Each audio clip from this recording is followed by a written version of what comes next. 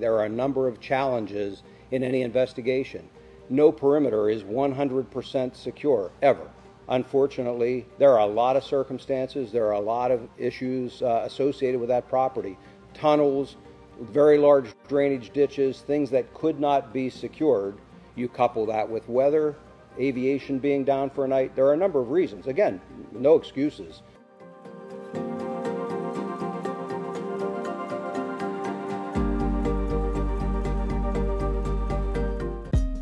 Hey, thanks for watching. If you like this video, check out these other videos from USA Today to stay up to date with all the latest news.